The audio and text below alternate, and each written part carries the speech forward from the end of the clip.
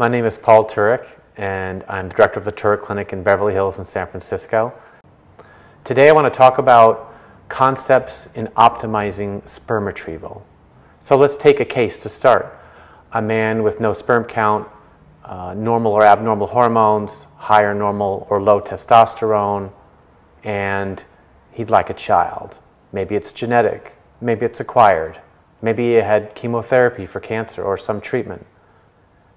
These men have possibilities now, and I want to talk about ways that I and others uh, optimize them for these procedures that they may need to find sperm because testicular sperm in men who don't have ejaculated sperm can be very valuable. So this is a very difficult field in, with, in how you find sperm in men with non-obstructive azoospermia. So it's sterility in the ejaculate due to the lack of obstruction. These are men whose testicles aren't working as well from whatever cause. And these can be very difficult problems, and I equate it to high school kids answering geometry exams or calculus exams. And the one on the left in your slide is a man who, uh, a kid who just couldn't answer it and ended up giving up. The one on the right, to order to answer his problem with momentum and force, uh, and angular momentum, he actually put an elephant in the way and blocked it and said, "I can't answer the question. There's an elephant in the way," and he got zero points for that. So these cases can be as frustrating as that. So I want to talk about ways to optimize sperm retrieval in men with non-obstructive azoospermia. And I break it into three ways. You want to optimize the patient. You want to optimize the procedure itself that's used to retrieve sperm from the testicles, and you want to optimize the laboratory. So let's start with the patient. How can you optimize the patient? Well, a lot of work has been put into by myself and other researchers on getting men ready for this. So it's not just a simply a matter of scheduling surgery and doing it at the time of assisted reproduction like IVF and ICSI. There are ways to do this. There's Clomid. You can give Clomid medical therapy to men, and Dr. Niederberger's study showed in 42 men that some subclasses of men with this problem will develop ejaculated sperm. You can actually give drugs called HCG three to four months in advance. And here's a study from Japan that showed that although these men failed their first microdissection testicular sperm extraction, when they were given HCG based therapy for several months and done and went forward with another microdissection in the same institution, they got sperm 27% of the time. When men weren't given the medication and went for a second procedure, they never they didn't get sperm again. That can take advantage of the situation when it's difficult. We actually used HCG once in walruses, and they conceived naturally. So I love HCG. Other medical therapy, Dr. Schlegel and the group at Cornell have popularized aromatase inhibitors. These are breast cancer agents that are used for male infertility off-label. And most of this stuff is off-label use, but it works quite well. And even men with low sperm counts, they can get men with higher sperm counts, and men with typically started with Klinefelter syndrome, genetically infertile, they can get have higher chances of sperm retrieval and may even develop in some cases of non-obstructive azoospermia. Uh, they can develop ejaculated sperm. So that can prevent a sperm retrieval. Varicocele repair is not a medical therapy, it's a surgical therapy, but it can in fact help.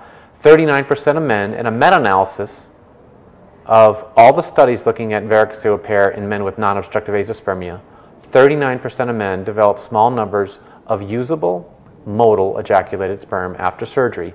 You have to wait six to eight months, which can be an issue, but it can often be helpful in the right patient. Not everybody, but the right patient. So that's medical therapy for the man before anything's done.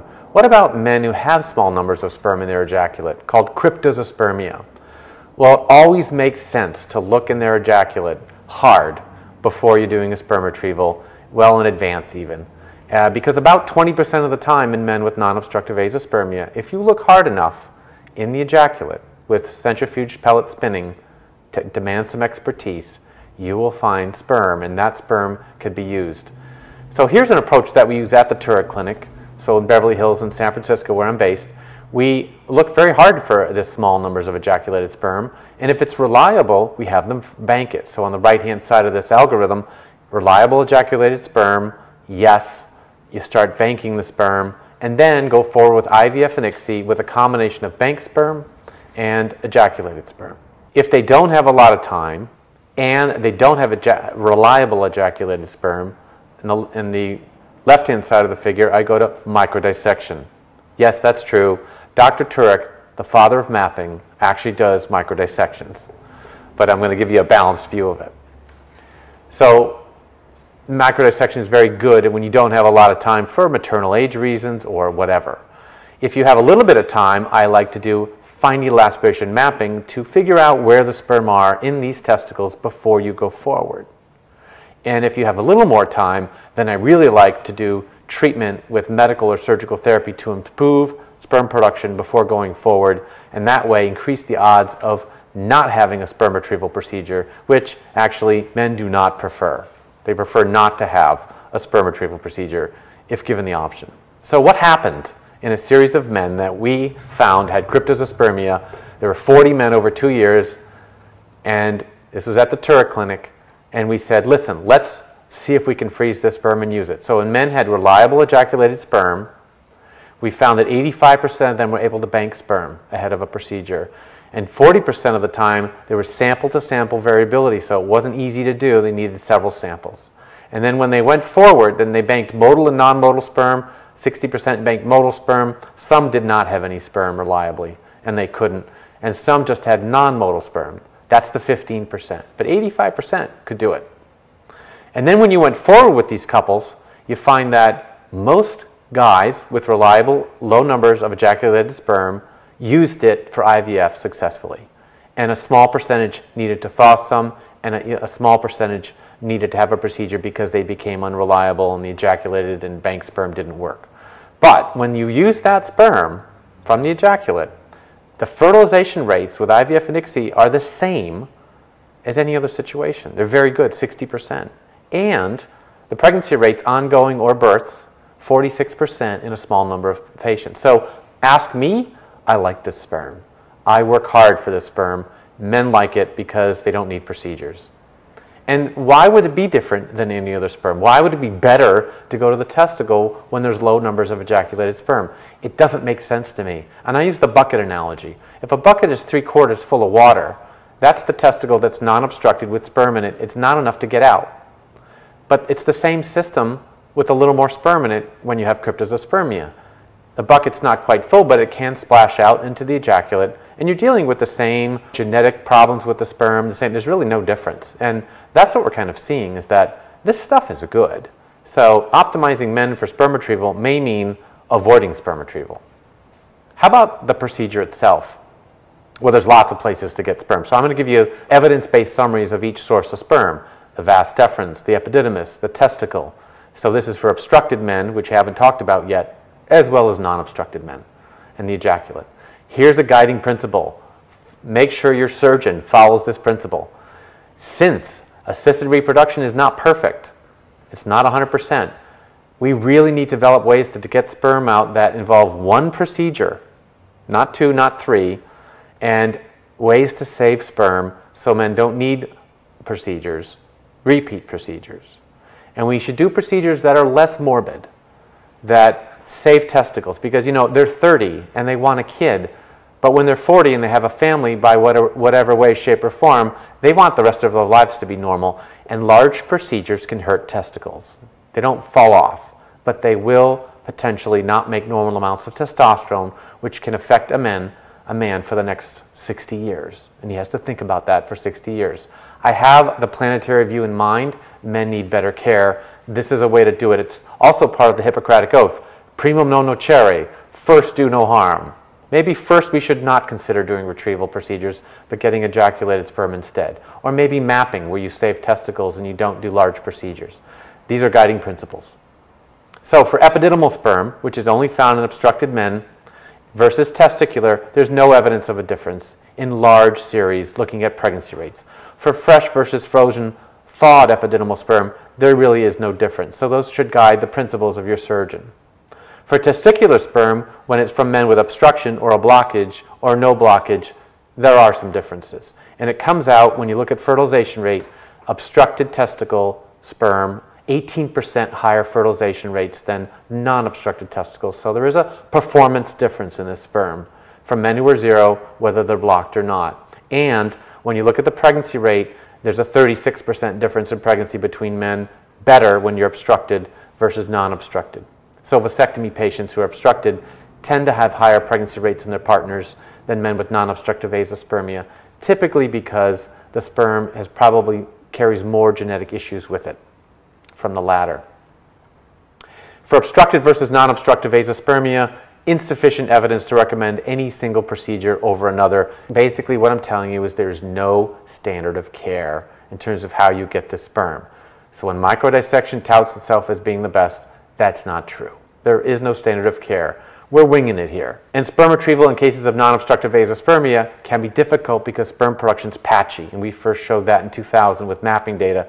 And sperm in these men can be in islands. It'll be there, but it'll be, but it'll be in islands. In cases of non-obstructive azoospermia, there's no relationship between the technique you use to get sperm and the outcomes with ICSI. Those are the facts. And in fact, I like delayed fresh sperm retrievals. I like doing sperm retrievals in tough cases the day before egg retrievals. And that way we allow the sperm in the dish to wake up.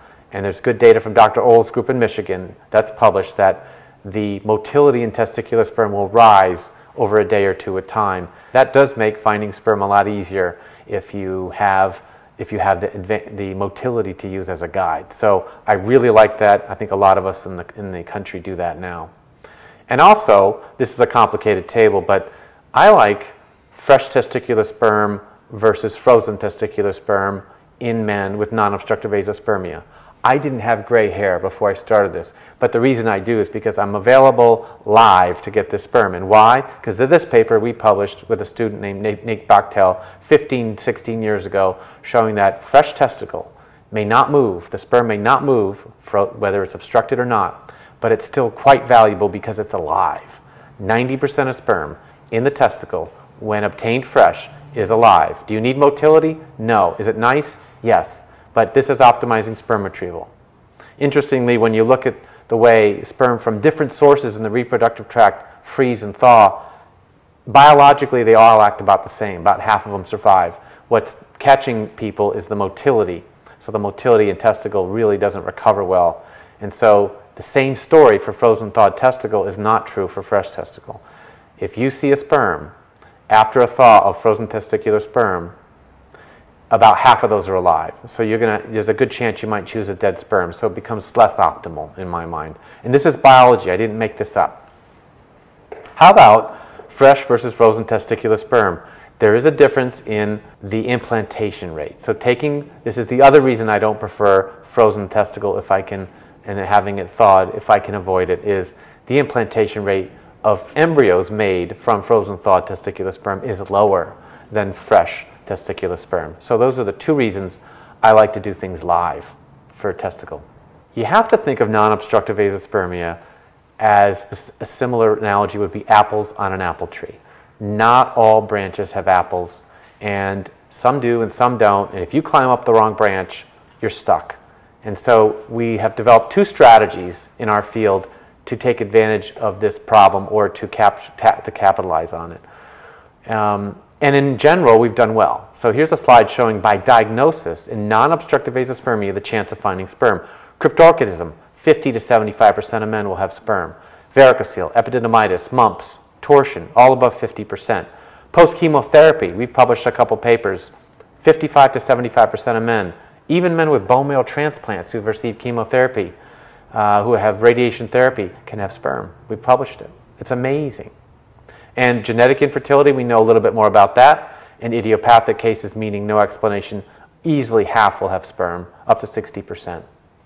And where are we with sperm detection in men with non-obstructive azoospermia? Well, this is a graph I made from a paper published recently in the Asian Journal of Andrology, where we looked at the number of times you sample a testicle, number of places really, at the same time, and the rate of finding sperm. And in the beginning, we published a paper with Lip, Dr. Lipshultz and I and Ed Kim looking at a single biopsy, the ability of a single biopsy to find sperm. It's about 30%. So biopsies have utility.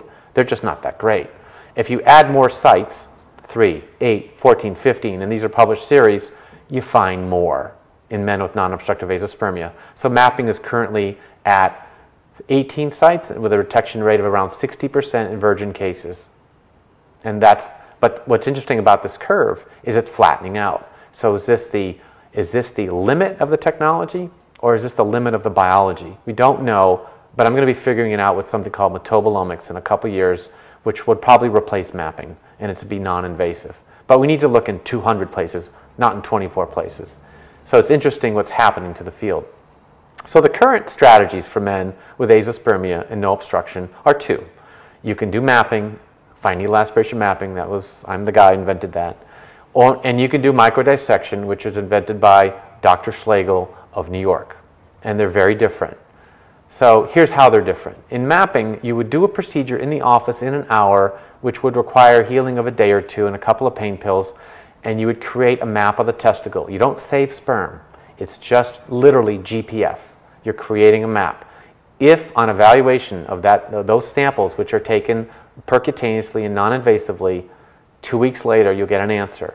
Sperm here, sperm here, sperm here. If there's sperm, then you would proceed to IVF and ICSI, knowing that you was a good chance you'd find sperm at that time, and therefore not have backup sperm or have other plans in place like egg freezing or cancel of the cycle.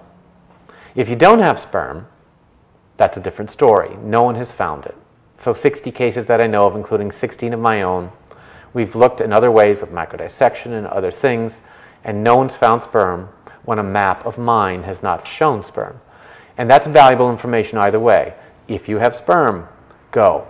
If you don't have sperm, maybe alternatives are better chosen now. Maybe you should close the door and open a window. And windows can be very good.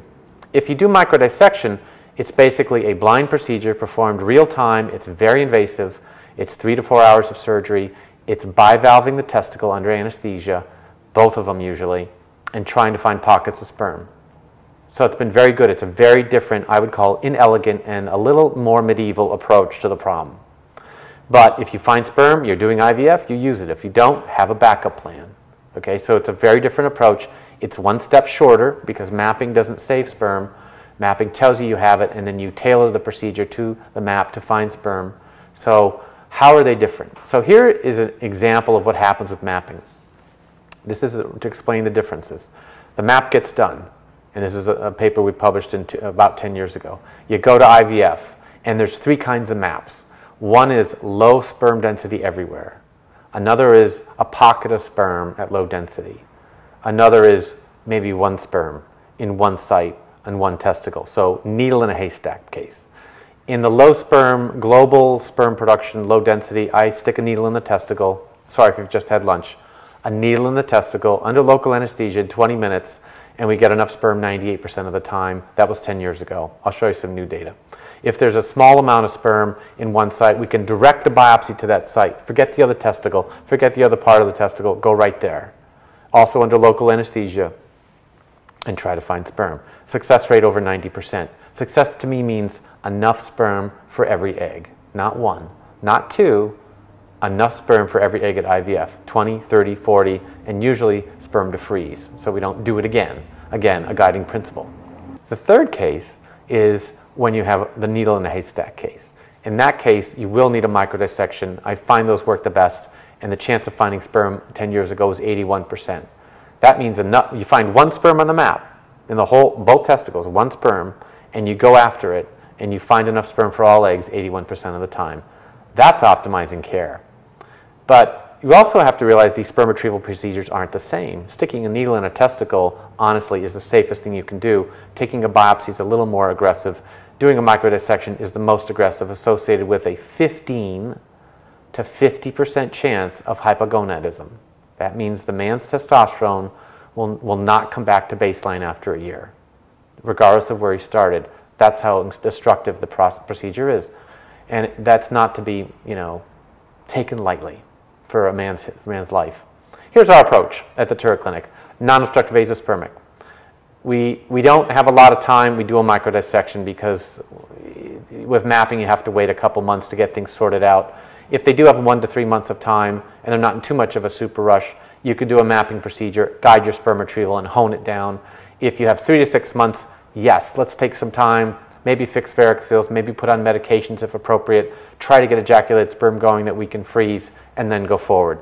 This is an optimized regimen for sperm retrieval. So what's the big difference, really, between microdissection and mapping? Let me show you in a series of 100 or so patients over the last year at the Turek Clinic what we've done. So some, I give everyone the option, based on that algorithm, of either going forward with microdissection or having a map. I don't tell them what to do. I give them the data, and they decide. And I do what's best for them. So it just so happened that about a third of the men last year chose to do a microdissection without a map. And the other two thirds chose mapping. And then after mapping, they went forward, and after microdissection, or with microdissection, they went forward with IVF. And here's the results. In unmapped men who went for just a microdissection with no prior procedure, like a map, 53% of the time I found enough sperm for all eggs. That compares to the best of them. Okay, so that's my basic microdissection data. If you take the same or different set of patients, they weren't randomized, and you put and you alpha the mapping and they do it, and they have sperm on their map and they go to sperm retrieval, about half the men will sort out to need a microdissection, but the other half won't. So there's your first savings. Half the men won't need a microdissection after mapping. And in the men who went for lesser procedures that were guided by the map, 100% of the time we found enough sperm for all eggs. 100%. If they did need a microdissection because they were a very difficult map, 92% of the time we found enough sperm for all eggs. 53 versus 92. That's the difference. That's optimization. Here's another difference between microdissection and mapping. In these same men, we have to ask how many times did you operate on both testicles? Because if you operate on one, you don't really worry about long-term complications and low testosterone and chronic pain as much as you would if you operate on two. And if you're doing a blind procedure like microdissection, you're going to be doing two a lot because you don't know where to start. If you're doing, if you have a map like GPS, you know where to start. So here we go. Same patients. Of the third of the patients last year who got microdissections performed blindly, 84% got both testicles operated on to get enough sperm for all eggs. That's 8 out of 10. If you did a mapping ahead of time, again, the split was about half needing a microdissection, half not. 19% of microdissected men needed two testicles operated on. 19%. That's six-fold less than a blind microdissection. And only 15 to 14% of men with lower, needing lower procedures needed a, a bilateral procedure. So that's called saving testicles, and I think that is a way to optimize sperm retrieval. Let's go to the laboratory as a final, final statement. Doing these procedures demands expertise, but the lab expertise is probably more important. After we've done a couple microdissections, 25, 50, you sort of know what you're doing as a surgeon. I mean, it's, it's playing the same song all the time. Mapping similar. But what really helps you get the sperm for the patient is a lab that's ready to go and not surprised by a difficult case coming up today. Right? Put down your coffee and get to work. No, that's not the way we do this. At the Turek Clinic, I have a table in the lab on a piece of paper. And if you see my name there and it says TESA with an A, or MESA with an A, or TESE with an E, or microdissection, it says below it how many man hours I need for that case while I'm doing it. So how many technicians? And you can do what you want. You can, I can have the lab do two technicians for an hour, three technicians for two hours, but I'm going to need six man hours for microdissection while I'm doing the procedure. I'm not just going to do it, stop, send the sperm somewhere and have them look. I'm going to do it with them and have them judging me and giving me real-time feedback. And that gives you great results. And you may say, these results seem incredible. That's why. I think it's why. I mean, it, I'm, I'm pretty good at what I do, but these guys have to be very good. So your lab matters when it comes to dissection and doing these difficult procedures. You're trying to optimize it for the patient. Laboratory effort is also important in terms of freezing sperm, and this is where we're hurting a little with technology. Freezing low numbers of sperm is very important. I know these sperm work well. If we can get moving sperm on the back end, it'd be great and save procedures. And I've done a lot of repeat procedures, and mapping's very good at telling us how to do that, but we need to work on cryoloops and using zone, empty zonas and things like that, innovative ways to find sperm. We don't have a lot of these right now, but I encourage young people in the field to look into it, and I've got some ideas of my own. So in summary, for optimizing sperm retrieval in men with non-obstructive azoospermia, patients really only want one procedure. They really do. You make more friends that way. Number two, they like their testosterones where they are. They don't like them lower, and they will be thinking about it a year after their, their family's built. Know, oh my God, I got to take this stuff for the rest of my life. You have one good shot at a patient. That's my theory. Take your best shot at them. So plan and optimize. And so optimizing therapy, surgical, medical, patient issues, sperm retrievals, and laboratory procedures are very important for all these men. Thank you so much for the opportunity to talk today.